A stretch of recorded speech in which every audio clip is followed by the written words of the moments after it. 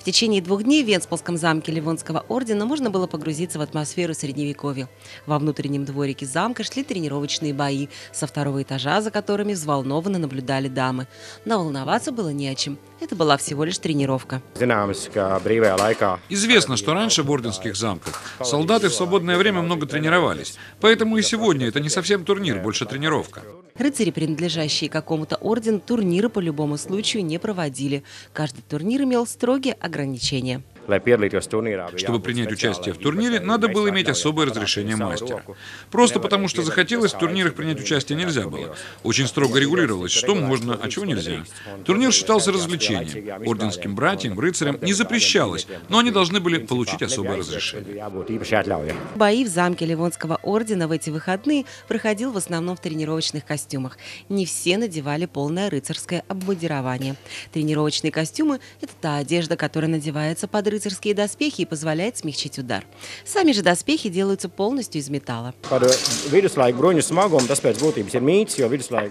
То, что доспехи средневековых рыцарей были очень тяжелыми, это миф. В принципе, они в основном были легкие. Если сравнить с экипировкой в современных военных, то у средневековых военных доспехи были легче. Мифы о том, что рыцарь, упав с коня или попав в болото, не мог подняться, это неправда.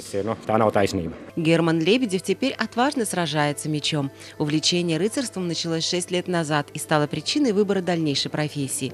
Герман закончил исторический факультет. Сейчас вот считаю своим как бы священным долгом продвигать, э, скажем, исторические, исторические традиции вот, э, скажем, в массу э, посредством этой всей материальной культуры и вот образа, который вы можете и увидеть, и потрогать, и даже прочувствовать, одев на себя рыцарские латы. Пока рыцари тренировались, всегда мы спешили приготовить сытный обед. Лаума Деди открыла нам секрет, какой ингредиент обязательно должен присутствовать в рыцарском блюде.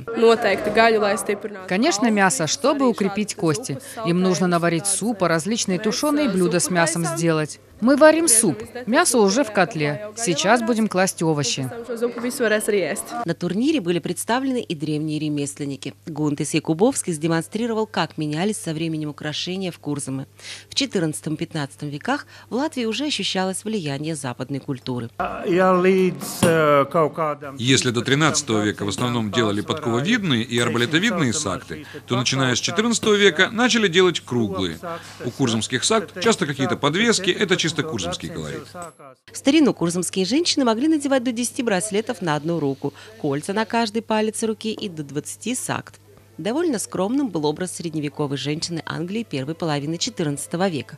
Одежда была трехслойной. Первый слой – ситцевая рубашка. Tad nāk kirtlis, kas arī ir vilnas, un tad nāk uh, surkote.